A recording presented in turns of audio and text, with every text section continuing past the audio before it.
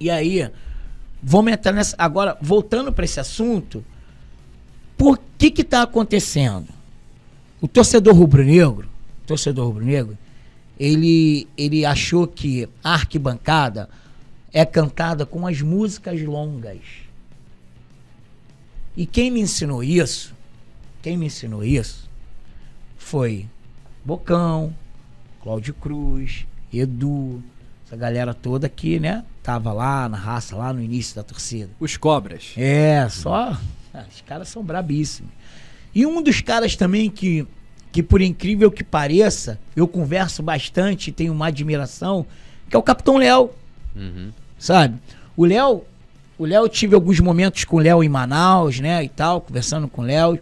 Eu tive Flamengo e Botafogo em Manaus, aquele jogo que teve em Manaus, a gente e encontrei com o Léo na arquibancada, a gente ficou conversando muito tempo, né?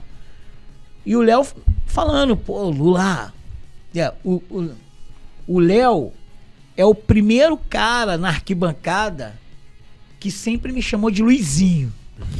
é impressionante, o Léo. E aí, ele falou, Luizinho, tanto que tem alguns amigos meus da torcida jovem do Flamengo, tem muitos amigos lá, meu amigo Ney Flávio, presidente da Jovem, um abraço, meu irmão, tamo junto. E o Léo, o Léo falava isso pra mim, a gente não, recente agora, não naquele, nesse, nesse jogo contra o. Botafogo, mas recente agora, o Lula, essas músicas longas, essa coisa é muito argentina, cara. O argentino que tem essa mania de músicas longas e tudo a mais. pouco vem negócio que eles de- ficam com a ah, mão assim né? e tal, É. não sei o quê. Eu falo, pô, Léo, é, mas como é que a gente muda isso? Entendeu? Eu tenho certeza que em todo o tempo que estive na arquibancada, eu aprendi e passei o certo. Mas devido à punição da raça rubro-negra, uma punição em cima da outra, uma punição à ausência na arquibancada, é, as nossas co-irmãs que lá ficaram, isso é uma percepção minha. E eu, Uhum. eu quero que eles entendam, entendam, não estou criticando, Aham. tá? Algo construtivo, né? É, tô- eu toquei isso aí. Eu tô querendo manter a nossa tradição viva, porque eu respeitei quando estive lá. Sim. Beleza? Eu não mudei a coisa. Eu, eu, eu toquei aquilo que é, que tem que ser. Eu acho que as co-irmãs hoje na arquibancada, eu acho que muitas das canções que são cantadas na arquibancada, parece que soa que é a raça que tá na arquibancada. Ela não tá na arquibancada, ela tá punida, né? Ela tá punida. Ela... Então, a gente tem que. Eu acho que a gente tem que entender que é, é uma tradição rubro-negra. Não é uma tradição de uma torcida organizada, Sim. mas é uma tradição do torcedor rubro-negro. Eu vivi uma experiência no Flamengo e Corinthians, gol de jogo que a gente perdeu de 1 a 0 pro Corinthians, gol contra do Rodinei. E eu vi o torcedor do Flamengo gritar Mengo na arquibancada. Isso me chamou a atenção Em São Paulo. lá em São Paulo. Isso me chamou a atenção. Eu falei, bacana. Caramba, tá vivo o grito de Mengo. Que é o nosso grito de E guerra. tá todo mundo pedindo muito essa volta. Muito, do... é. Cara, eu lembro, antes até do Raça, Amor e Paixão, que É. uma coisa que depois que começou a cantar muito, que nem ali nos anos 90, quando o time entrava em campo, era o Mengo. Isso. É isso. Cara, e Maracanã isso. com 100 mil pessoas. Eu, eu fico até arrepiado. com 100 mil pessoas cantando Mengo. Mano, é uma parada que te toca a alma. Alma, isso. Tá ligado? irmão, e, isso, tipo assim, falta isso, realmente isso É, aí. é. Verdade. E aí eu, eu senti isso. E eu falei, caramba, mano, essa é a energia pra quarta-feira. Com o torcedor no Itaquerão, né? Lá Itaquerão, Neoquímica Arena e tal. O torcedor do Flamengo começou a gritar amigo. Eu falei, opa, essa é a senha da vitória. Tava com o Pablo, né? Meu parceiro de bancada, meu irmão Pablo, um abraço. Pablo mano. Gaudense. É. Só convidar ele ainda pra vir aqui. É, moleque é tuiteiro nada. É. e aí ele, aí eu, eu comentei que eu tava eu, ele, e o Patrick, um outro companheiro nosso. Eu falei pra eles, cara, essa é a senha, brother. É o grito de Mengo na arquibancada pra gente ganhar, porque a gente precisa voltar aquilo que sempre deu certo.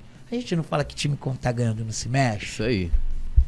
sempre foi o grito do torcedor rubro-negro. Então hoje, com essa ausência dos nossos gritos de guerra, o grito de guerra não é, não é como a raça tem, né? É, como é que a raça? Grito de guerra da raça é somos casaca vermelha. Não, não é esse grito de guerra. O grito de guerra que eles estão falando é o grito de Mengo. Mengo!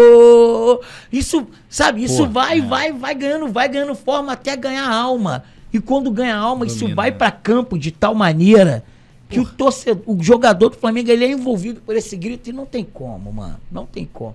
Então, eu fiz esse apelo, né, às, às organizadas pro jogo contra o Atlético Mineiro, para que eles cantassem, isso viralizou nas redes sociais e tal. Mas eu não fiz como forma de cobrança, não, Túlio, entendeu, Rafa? Não fiz cobrando. Quem sou eu para cobrar? Não cobro. Eu só falei, pô, vamos fazer isso porque isso dá certo. Então, a ausência de canções na arquibancada foi muito prolixo, né, para responder essa pergunta. e assim, mas tem, é porque tem que ter cuidado, Sim, né? Tem que ter sim. cuidado, porque senão, sabe o que acontece? As pessoas acham que Como eu tô. você tá querendo ditar regra, É, que eu tô querendo. essa que é do seu jeito. É, não, não, não. não, eu- eu- sabe, eu fui prolixo justamente para deixar isso bem entendido. Eu não sou o supra-sumo, não sou a última Coca-Cola do deserto, não sou. E falo isso com os pés no chão, de verdade. Só que existem coisas que não podem ser modificadas, tem que ser respeitado, é a nossa história. E começa, sabe com quem? Com Jaime de Carvalho. Pô. Esse merecia um busto no Maracanã ou uma estátua Gávea. e na Gávea. Na Gávea ele- hoje ele tem uma placa. Mas o presidente Bandeira de Melo fez uma promessa, ele não tá mais na presidência, então não tem como ele cumprir. Que seria ele colocar um, um- um busto do Jaime de Carvalho na Gávea.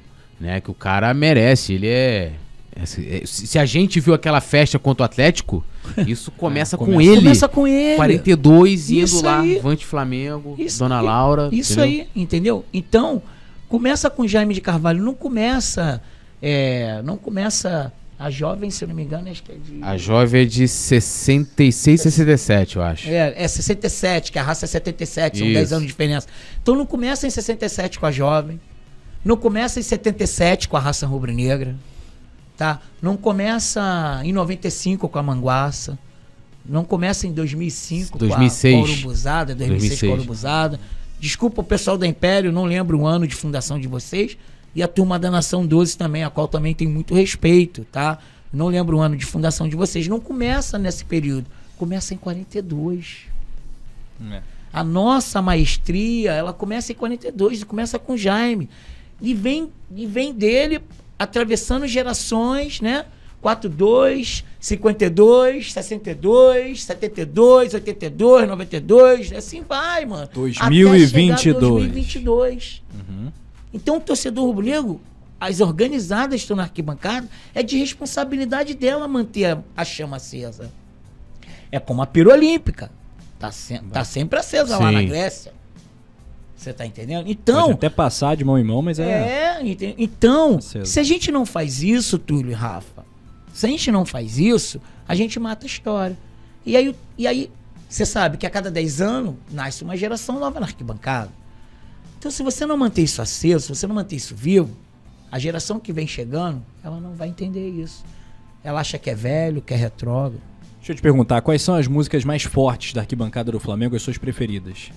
O Você já disse o grito de Mengo, grito, Mengo, grito de grito de Mengo, guerra. grito de Mengo, grito de Mengo, ele é É sensacional. uma força da natureza, um É, o grito de Mengo, até porque o Leandro tem um relato É, do grito de Mengo. É. Quem não chora vendo esse relato do Leandro não é rubro-negro. Entendeu? O Leandro fala de uma forma do grito de Mengo que parece tão atual. E olha essa entrevista. Tu viaja no tempo, já- você viaja no Você tempo. viaja. E, independente de ter visto, Sabe? como eu não vi, mas. Então, o grito de Mengo é uma coisa sensacional, sabe? Ah, O Raça, Amor e Paixão, que nasceu ali de uma. tema sabe, da vitória. de uma, de uma fusão ali, de uma parceria, sabe? Entre Alvarenga, Fábio Justino, eu, Vitinho, Paulo Aparício, sabe? Mário Gordo, sabe? Junta, a gente junta uma equipe, Kiko, a gente junta uma equipe. Se eu esqueci alguém, me pergunta, mas você sabe que eu posso ter esquecido alguém aqui também que fez parte. E a gente. Que a gente e, e a ideia vem do Alvarenga, o Raça, Amor e Paixão. Entendeu? E ali. Ah, O Varenque tem que vir aqui também. Vamos lá. É. Muita história e aí, também. A gente, a gente vem com raça, amor e paixão, porque a arquibancada ela começa a nascer com, com as músicas longas. Porque as músicas longas na nossa arquibancada eram os samba. Sim. Sim, sim. Entendeu? Eram os sambas, né? A gente cantava o samba, era música longa. Então, quando começa a nascer essa temporada, que né, começa essa temporada melhor, começa essa temporada de músicas longas, a gente vem com Raça, Amor e Paixão, com o tema da vitória. Era muito foda. 2007, 2008. Loucura. Era loucura. Loucura. Loucura. Loucura. Então o tema da vitória é incrível.